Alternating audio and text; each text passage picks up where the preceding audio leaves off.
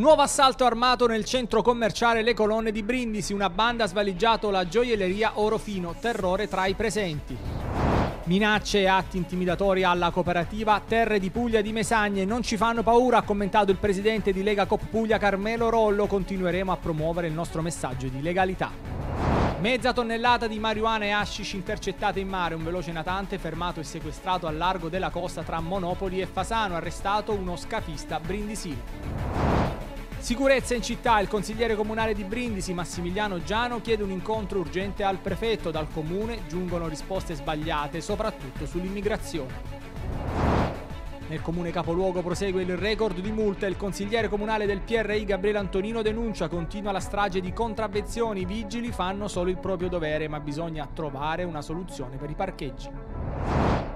Il Brindisi al lavoro per preparare la gara con la capolista Bitonto, possibile rientro di Granado e Lombardo dopo l'infortunio. Intanto ci si interroga sui troppi gol subiti, il punto in casa biancazzurra. Benvenuti a questa edizione di 100 Notizie Brindisi. In apertura parliamo di cronaca e del nuovo assalto avvenuto a Brindisi per la precisione nel centro commerciale Le Colonne. Una banda ha svaligiato la gioielleria Orofino creando terrore tra i presenti. Il servizio di apertura realizzato da Fabrizio Caglianiello. Un nuovo assalto armato in pieno giorno, in mezzo alla gente, in un centro commerciale. È accaduto ieri, lunedì 22 ottobre, poco prima delle 15. Nel mirino dei banditi la gioielleria Oro Fino che si trova nel centro commerciale Le Colonne di Brindisi. Scene di panico tra la gente. I malviventi armati di fucile a canne mozze hanno utilizzato un grosso martello da lavoro per distruggere le teche dove erano custoditi i preziosi e sono fuggiti a bordo di due scooter. Da una prima ricostruzione dei fatti pare infatti fossero almeno in quattro. Sul posto sono intervenuti i carabinieri della compagnia di Brindisi che hanno ascoltato alcuni testimoni e acquisito le immagini degli impianti di videosorveglianza. L'impressione è che il piano fosse stato studiato nei minimi dettagli. I quattro infatti sapevano come e dove muoversi. Il colpo è durato pochi istanti.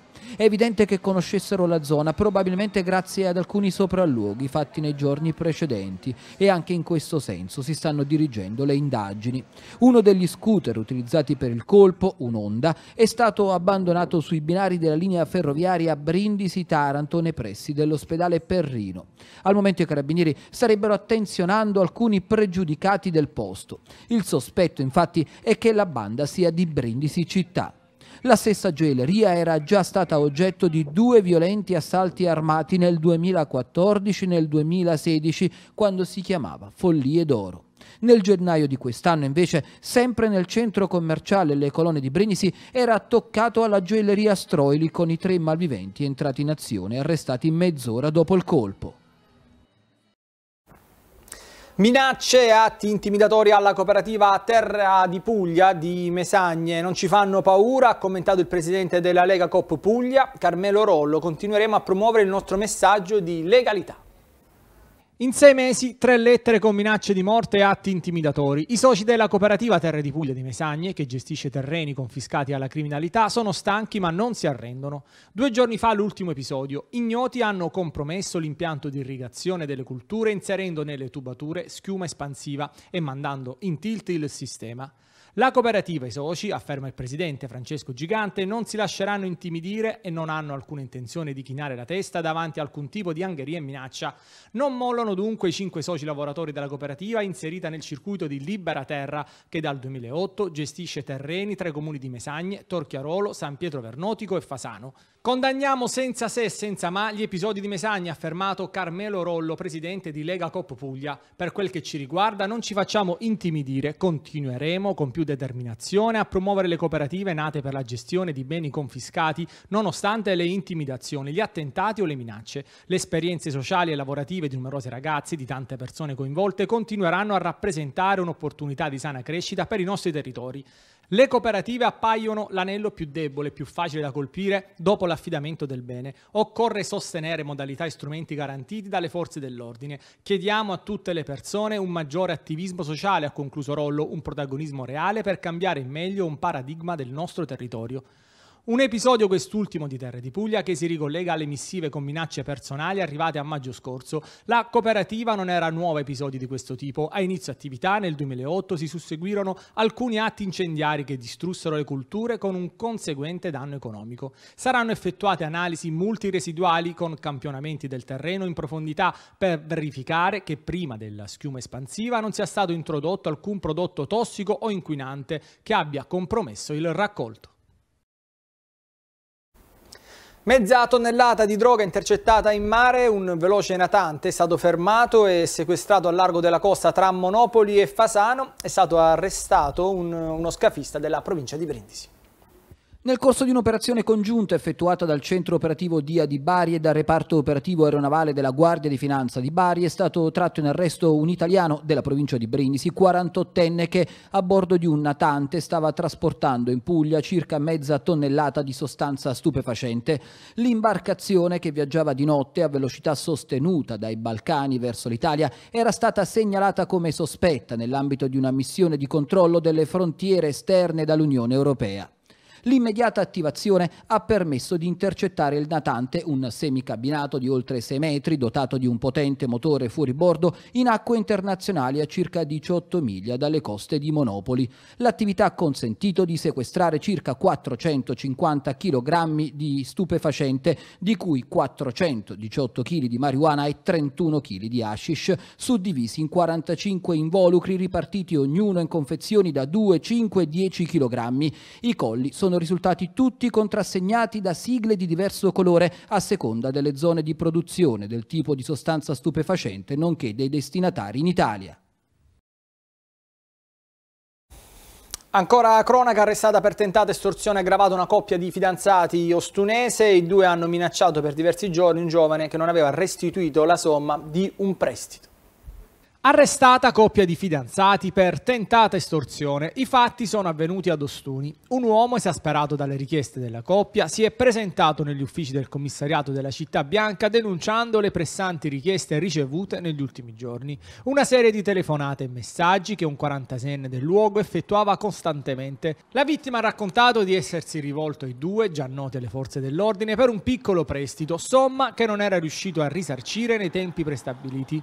I poliziotti hanno hanno dunque avviato le verifiche del caso constatando le pesanti minacce rivolte al giovane e in aggiunta la volontà di sottrargli la vettura per rientrare della somma corrisposta. Inoltre gli estorsori avevano applicato un tasso usuraio che faceva aumentare giorno dopo giorno il debito fino ad arrivare ad una cifra di 15 volte superiore. All'ennesimo appuntamento per riscuotere il denaro, questa volta si sono presentati anche gli agenti che sono intervenuti solo quando uno degli estorsori ha nuovamente minacciato di morte la vittima. La fidanzata fidanzata del 46enne, una 41enne del luogo, aveva atteso l'evolversi della vicenda a distanza in un'auto con il motore acceso. La donna, dopo una breve fuga, è stata bloccata dagli agenti nei pressi di Via Pola. Nel corso delle indagini, i poliziotti hanno individuato un terzo complice al momento indagato a piede libero. L'uomo e la donna sono stati associati in carcere a disposizione dell'autorità giudiziaria competente. Cambiamo argomento, parliamo di sicurezza in eh, città. Il consigliere comunale di Brindisi Massimiliano Giano chiede un incontro urgente al prefetto. Dal comune ha dichiarato giungono risposte sbagliate, soprattutto sull'immigrazione.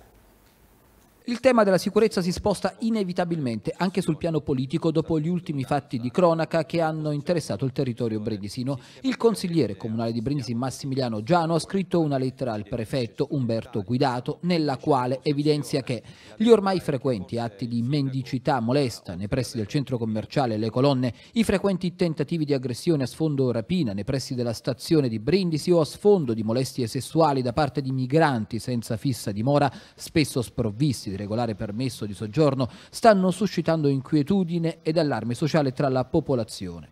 Oggiano prosegue. L'amministrazione comunale di Brindisi ha posto tra le proprie priorità quella di consentire l'iscrizione anagrafica ai richiedenti asilo migranti disapplicando e violando in sostanza il decreto sicurezza.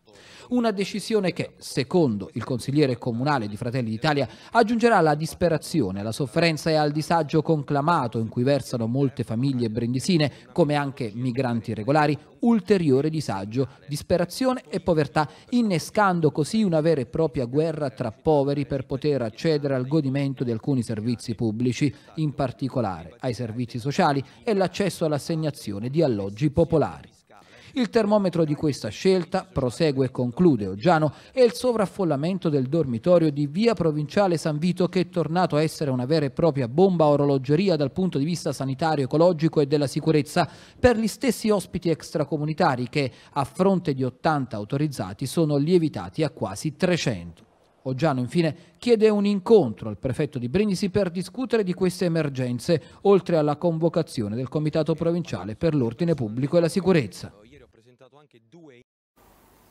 Il presidente di Confindustria Brindisi, Patrick Marcucci, è stato chiamato a far parte del gruppo tecnico energia di Confindustria Nazionale. Sono felice di condividere con ciascuno degli associati questo importante riconoscimento, ha dichiarato il presidente Marcucci, come risultato di un lavoro di squadra di Confindustria Brindisi. A Brindisi prosegue il record di multe, il consigliere comunale del PRI Gabriele Antonino denuncia continua la strage di contravvenzioni, i vigili fanno eh, solo il proprio dovere ma bisogna trovare una soluzione per i parcheggi. Fabrizio Caglianiello.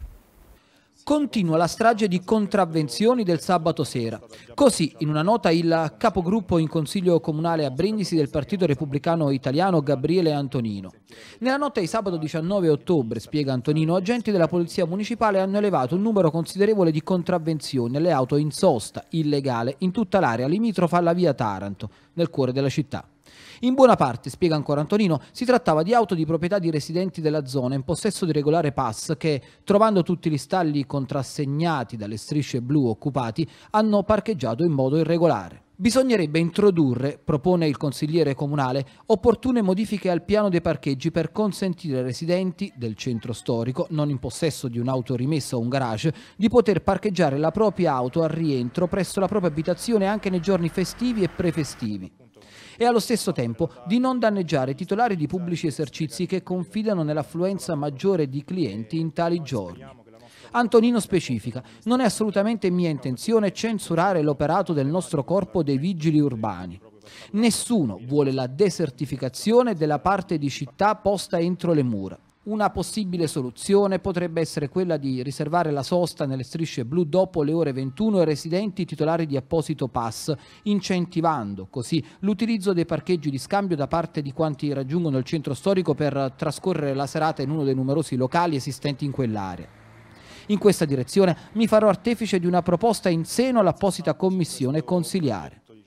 Tutto questo in attesa di dotare la città di parcheggi multipiano da localizzare a ridosso del centro storico. Altrimenti non potremo che assistere alle continue lamentele delle persone proprietarie delle auto contravvenzionate e al diffondersi della convinzione che in questi continui blitz notturni non hanno altra finalità che garantire entrate alle casse comunali. La provincia di Brindisi ha accolto con grande partecipazione e spirito di collaborazione la richiesta dei volontari di Intercultura di utilizzare il salone di rappresentanza dell'ente per incontrare giovedì 24 ottobre alle 16 gli studenti brindisini tra i 15 e i 17 anni che hanno intenzione di chiedere informazioni per partecipare alle relative borse di studio disponibili per vivere e studiare per un anno o un periodo più breve in 65 paesi dei 5 continenti. I programmi rivolti agli studenti in Italia e all'estero hanno come obiettivo principale il consolidamento di competenze e capacità fondamentali per la formazione della futura personalità dell'individuo. In particolare la chiave di lettura dell'esperienza di studio all'estero proposta da Intercultura sposta l'attenzione dalle singole discipline a una visione d'insieme delle competenze trasversali in profonda sintonia con gli obiettivi educativi della scuola stessa. Una filosofia questa che può abbracciare anche l'identità del patrimonio culturale di ogni paese. In questa epoca infine si stanno aggiungendo nuovi paradigmi progettuali operativi che intendono il patrimonio culturale come un insieme individuale divenire di beni da ricollocare in uno spazio sociale di scambio e l'educazione al patrimonio in chiave interculturale come una pratica trasformativa che pone l'enfasi non tanto sulla conoscenza delle diversità culturali quanto sull'apertura di spazi di dialogo, di contaminazione, di ascolto e apprendimento reciproco, di costruzione e condivisione di significati e sarà anche questa la mission della provincia di Brindisi per i prossimi anni. Ora ci fermiamo per una piccola pausa pubblicitaria, restate con noi per la seconda parte di 100 Notizie Brindisi.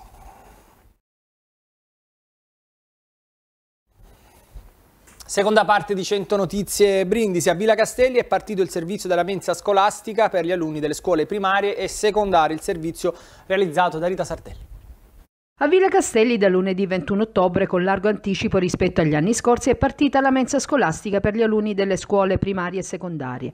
Grande la soddisfazione del sindaco Giovanni Barletta e della sua giunta che con orgoglio dichiara che il servizio utilizza i centri di cottura posti all'interno degli stessi edifici scolastici assicurando in tal modo pasti caldi e con menù certificati. Come primo giorno i piccoli ospiti hanno potuto gustare un succulento piatto di pasta e lenticchie e a seguire una frittata di spinaci e frutta di stagione. Il tutto tutto servito rigorosamente in piatti di porcellana e posate d'acciaio. Sì, un dato molto importante voluto da questa amministrazione comunale proprio per dare un eh, segnale di cambiamento. Il cambiamento nel fatto che la mensa eh, non poteva iniziare a novembre, eh, oggi 21 ottobre sono già eh, oltre 15 giorni di anticipo perché già dal nostro programma vogliamo sempre venire incontro alle famiglie perché è giusto che le famiglie che hanno un lavoro abbiano quindi la possibilità di poter lasciare i propri figli ma anche per un una questione sociale. Noi vogliamo che tutti i bambini partecipino alla mensa un altro fatto particolare è quello di dire no alla plastica. E noi ci, ci avevamo dati come scadenza una ventina di giorni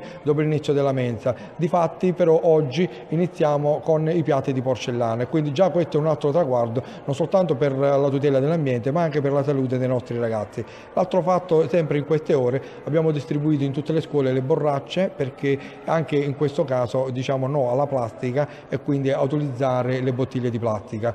Tutto questo rientra in, in un discorso di, eh, di, voler bene tenerci al nostro ambiente e alla tutela della salute dei nostri ragazzi. Abbiamo acquistato eh, dei nuovi tavoli, eh, sono stati distribuiti dei nuovi armadietti eh, e eh, abbiamo quindi cercato di eh, avere e completato insomma, quello che è il progetto istruzione. A giorni insomma, partirà anche il progetto per la ristrutturazione della, pale della palestra delle scuole medie e quindi proprio per dare continuità eh, a quelle che sono, eh, sono state insomma, le nostre promesse in campagna elettorale.